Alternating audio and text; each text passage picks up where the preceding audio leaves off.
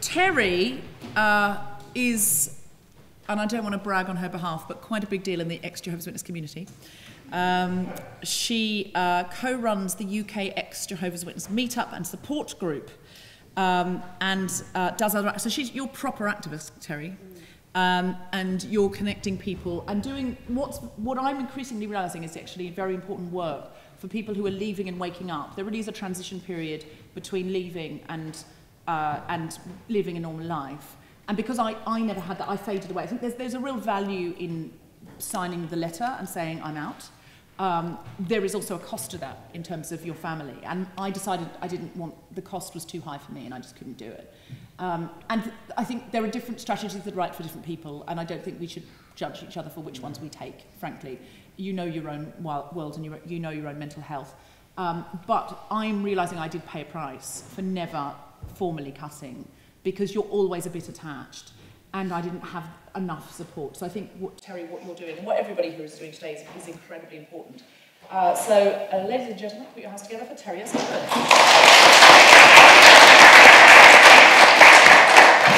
Hi. Um, yeah, so, so my story, I, my mother became a Jehovah's Witness when I was seven years old. She joined with my grandmother and um, us four girls. Um, and straight away, once you become a Jehovah's Witness, your whole life revolves around that religion. Um, so you've got your three meetings a week, you've got your preparations for the meetings, you've got your daily text you've got to read every morning, um, you've got to go on the ministry, you've got to prepare for the ministry. It's, it's constant. You, you don't have time to be anything other than a Jehovah's Witness, really. Um, um, we, we'd come from, prior to that, my mum had left my dad in the middle of the night. My dad was quite a violent person. So we'd already had a life of fear. Um, and once we became Jehovah's Witnesses, we had all these new friends every, uh, you know, that were in the Jehovah's Witnesses, and they were good people, nice people. Um, and uh, so then there wasn't that fear of violence anymore. Um, but then my mum met somebody else who was a um, in the Jehovah's Witness. He was a ministerial servant, and he was really strict. He was really, you know, um, strong in the faith, as they'd say. Um, which meant that now not only did we have all the meetings, all the preparation for the meetings, and the Bible textbook, and all, all the rest of it, um, we now had a group Bible study and we had individual Bible studies. Um, and because uh, as a child I really, um, I think it's just fundamental to who I am, had a lot of questions. My mum used to take my Bible study. Bear in mind, I'm eight years old, right? And um, uh, I'd ask questions, um, you know, what about the dinosaurs? Um, stuff like that. you know, and you're not supposed to ask questions. Even as a kid, you're not supposed to ask questions because it's all true. And if you question it, um, you're saying Jehovah's a liar. And we all know what happened to Nimrod. Actually, I can't remember what did happen to Nimrod. but we all know what happened to Nimrod. What, what, does anyone remember? But, uh, yeah, I remember. Nimrod? Uh, so what I used to get told all the time as a kid, I was like Nimrod because he was questioning Jehovah. So what did happen to Nimrod? Does anyone remember? What was that? It's Babylon. They built Babylon, oh. and uh, everybody then knew language. Well, that's already happened. yeah. That's not much of a threat when you're eight. Yeah. Um, if anyway, if you, if you don't listen to Jehovah, make everyone in the family speak a different language. That's it. yeah, pretty much. But um, so then um, our, our lives basically, I'd say my childhood was about fear and disconnection. Um, because we were constantly, I think the others have talked about Armageddon. Armageddon is coming next week. And it's been coming next week for the last 100 years. and but they but but they refresh it constantly and you talk about it all the time and there's you get the Watchtower Awake magazine if the Jehovah's Witnesses come to your door next time, just take the magazines. They don't come again. Get magazines and have a look at the pictures inside. They will come they again. They are terrible. Yeah, yeah, they, yeah. They're gonna come again. Um, have a look inside. There will undoubtedly be a picture of people like this in fear because um, there's hailstones and uh, this size and fire coming down from heaven. Everyone who's not a Jehovah's Witness, there's only 8 million of them, so everyone in this room, you're all going to die. So when you're eight years old, you are told in great detail all the different ways that everybody's going to die. You know, all your neighbours are going to die, everybody you know at school, they're all going to die, and all your relatives who aren't Jehovah's Witnesses, they're going to die. Um, and uh, different ways that you can you can get killed by Jehovah. You can have crows peck your eyes out. I remember getting told all about that. Eight years old, they tell you that kind of crap. Um, um, yeah, this, and it's terrifying. I used to have nightmares all the time. Um, and uh, you, you're constantly in trouble for little minor infractions. Um, whatever it is you're in trouble for, you're going to die at Armageddon for that. You know, tell kids for just you to do your shoelaces up. You're going to die at Armageddon for that. Um, sh shit like that, basically. It's pretty crappy. Um, and so it, you, you live in fear all the time. When I was about 11 years old, 12 years old, something like that, my older sister, who was 18 then, she got disfellowshipped. And uh, because she fell in love, basically. Um, and he'd been married before, but like they talked about, he hadn't had a scriptural marriage. Um, so he wasn't free to marry, but they loved each other. So um, she got, they both got disfellowshipped. Um, they're still together 20 years later um, and have two children. Um, and he's now an elder uh, because they sat at the back of the Kingdom Hall for five years with everybody ignoring them. Five fucking years. They had to sit at the back of the Kingdom Hall. And we sat at the front of the Kingdom Hall and we weren't allowed to talk to them. And if we look back There's your sister, you're 12 years old, sitting at the back of the Kingdom Hall. She has to come to the meeting late because no one's allowed to talk to her beforehand, so you don't want to have an accidental hello. So she's got to come late and sit at the back of the Kingdom Hall. And before the last prayer said, she's got to leave so that no one accidentally says hello to her. Um, so the only way we got to see our sister was to turn around and have a look at her at the back of the Kingdom Hall. But would get told off for looking at her. Um, and you get reminded of Lot's wife who looked back, she got turned into a pillar of salt. So we got told we were going to die at Armageddon for looking at my sister.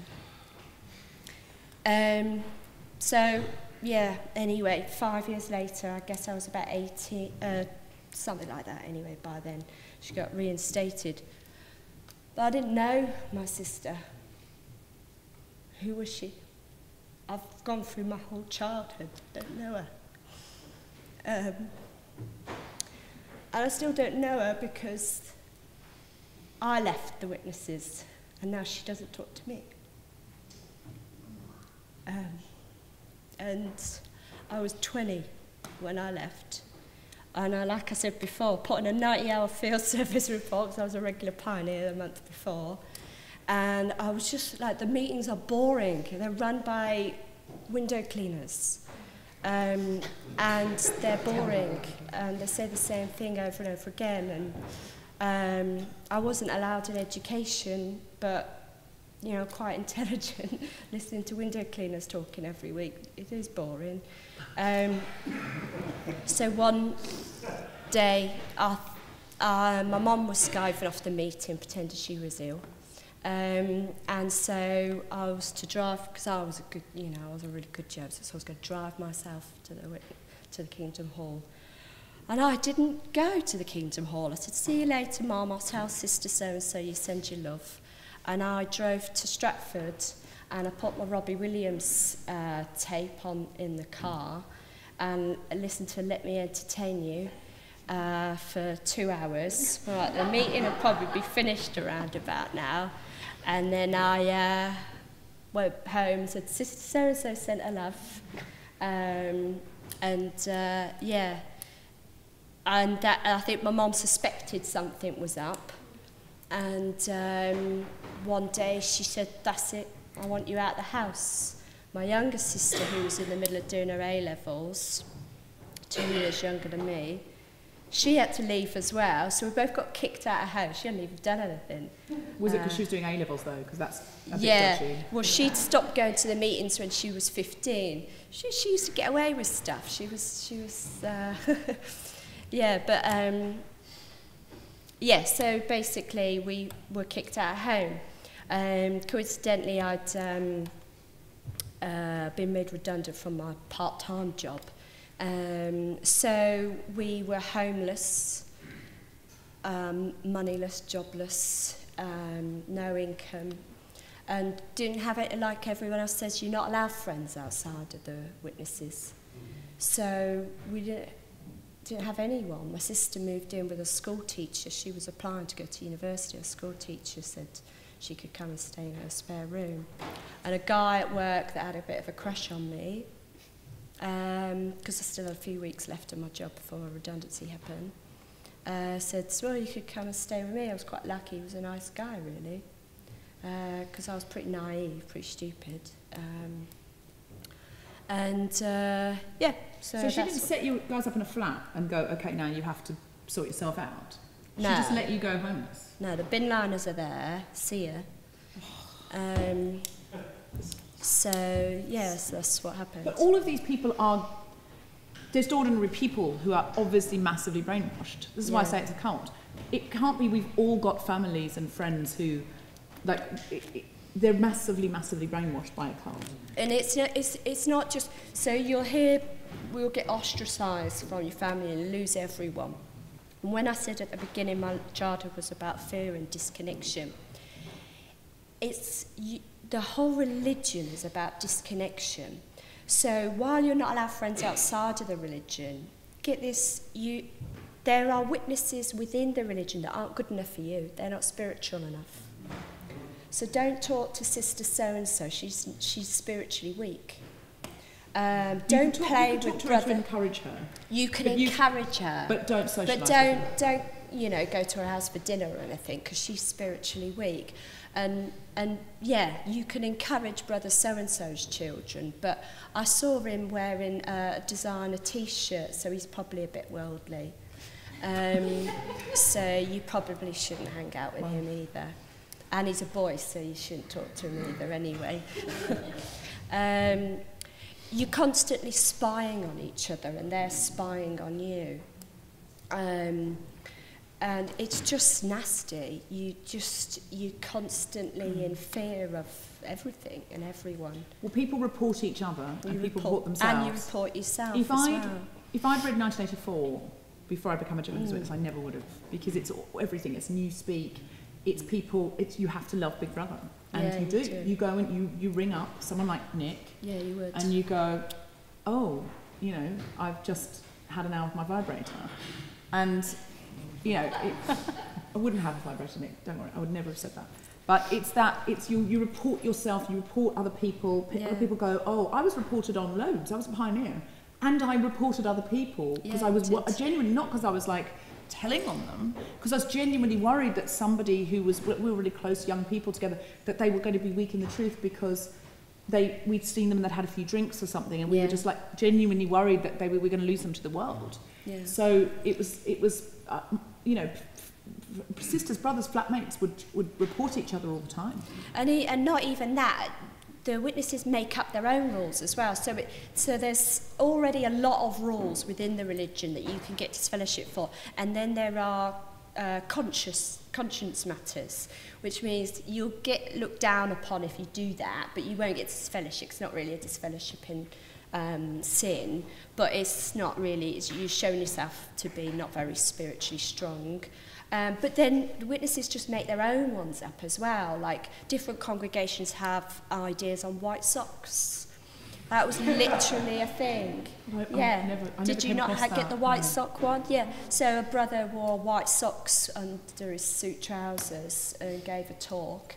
And that was like, I what can is sort of see doing? it. Yeah, What is I can sort of see it. Now you say it, I go, yeah, that, Yeah. that would have been commented on. And I Smurfs remember- was the one I remember. Smurfs, That if you had little Smurf toys, they were demonised, and so you, you definitely you were in the truth if you let your children have Smurfs. Yeah, you couldn't have Smurfs. uh, because there was a story that Smurfs had walked out of the meeting. Yeah, a Smurf jumped off a table once, so that that went round the whole yeah, world. yeah, that was like there was always urban myths, weren't there? Uh, yeah, yeah, yeah. Um, Um, yeah, a friend of mine had some strappy sandals. A, uh, a female friend of mine, she had some strappy sandals, and an elder's wife had a conversation with her about that. I mean, flat sandals. She had a long skirt on, modest clothes, but they were strappy. And and even amongst us, we sort of thought, No, I was We from do- I- Australia. we don't get none this. of that. We just strappy sandals were the only Yeah. thing anyone wore because it was 40 degree heat. But I tell you what, we did get once. The we had a horrible circuit overseer, I'm happy to name as Les Simmons, and he destroyed destroyed happy, sort of you know, relatively happy congregations and families with his draconian ways. And all the pioneers, all kind of young, young, very loved up, supporting each other, really believed, you know, really enthusiastic. And we had him over for dinner, which would normally go to families. But we said, well, we're like a young family of pioneers. And we saved up to make him a nice meal, because obviously we had no money. And he and his wife came in, and we decided to do it at the boys' house, because we were all like, you know, 19 or something. And we did it at the boys' flat, because it was, um, it, they had a bigger kitchen. And when the, when the brother and sister Simmons turned up, we'd set the table, and we were sort of finishing off the last things coming in and out. And uh, we thought it had gone really well. We're so proud of ourselves for doing it. And then the next day, we were all hauled into the back room as a group of pioneers. And he said, um, and he said, I was horrified by what I saw last night. We were like, oh, what? What? And he was like, you sisters just walking into those young brothers' kitchens, and you just, uh, you just knew where their cutlery was. You're so familiar. We were like, well, it's, it's where everyone's cutlery is. It's just in the top drawer. Like, it just doesn't take a. I mean, what? Where would else would it have been? can't bring the shoebox under the bed? And, and uh, he was like, you're over familiar, and I don't want to see you mixing together anymore. The girls can pioneer together, the sisters can pioneer together, and the brothers can pioneer together. You, and, and he pointed at a sister and said, look at that strappy, because she had a sort of sundress on because it was 40 degrees. And she, he said, look at that shoulder. That young brother there, pointing at some poor embarrassed virginal boy, who's, you know, 21 trying not to wank. And, um, and he said, that poor brother there, do you understand what sexual urges he has? You don't. It's very difficult for the young brothers when young sisters dress like this. And, this, and everyone just freezes and is just like, because we, I didn't even know penises got erect till I saw one. You know, I knew nothing. So, and I, so I, we were all sitting there going, what? What are you saying? Don't talk about sex. We never talk about sex. We never look at each other. And we were all so naive and innocent. And we got totally told off. And do you know what else we got told off for? Having holidays, taking your pioneer holiday where you have a week off. You can't afford to go anywhere, but you know, you just done your hours sort of thing. And we, we would have our week off in the summer, which wasn't the American summer. The American summer ended in August. So the pioneering year ended in August. Oh, yeah. And we would take ours in summer because we were in Australia. And so it doesn't matter what hemisphere you're in. You put your, your holidays in August. I don't care if it's the middle of winter. That's what Jehovah. That's Jehovah's loving arrangement. like, well, could Jehovah please lovingly arrange for the sun to come out in August in Australia? Then? No, you, it'll do you good. It's good discipline. Um, Stuff like that. That, that was totally random. up stupid rules. But that was very specific. Like that was he was worse than Yeah. most of the others. But I do remember that sort of embarrassment at you know something like strappy sandals suddenly yeah, would be banned. become a thing. Yeah, Yeah. yeah, yeah, And they didn't even need to be involved in the elders. That was just some random sister in the congregation. She invented that rule. You know. Um, yeah, just stuff like that. Um, uh, yeah. So anyway, I left. I left when I was 21, like I said, um, and um, got cut off and everything like that, like everybody else said. But in 2007, um, I, uh, like Deborah Mitchell, set up a group um, on Meetup.com uh, .com for ex-Jehovah's Witnesses to meet up. And uh, it started in the back room of a library uh, in Rochester, Strood, which was glamorous. uh, just because we were really scared of bumping into real, uh, like current Jehovah's Witnesses. Um, and eventually we just started meeting up in a pub and stuff like that. And anyway, uh, I now co-run it with Steve, who's brilliant. Um, I say co-run it, he pretty much does everything actually.